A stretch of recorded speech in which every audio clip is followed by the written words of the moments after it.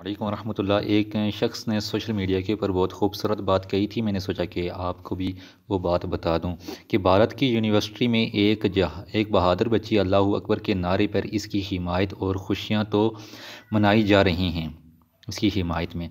लेकिन जनाब, कभी फुर्सत मिली तो पाकिस्तान में अपनी यूनिवर्सिटियों की भी खबर ले लें तो नवाजिश होगी। अपनी पाकिस्तानी बहनियों के, बहनों के लिबास भी चेक करो। और सबसे बड़ा जुल्म ये है कि अगर कोई वहाँ इस्लाम की बात करे या दरस कुरान देने की कोशिश करे तो इंतज़ामिया समेत दीन बेजार गुंडे उबल पड़ते हैं।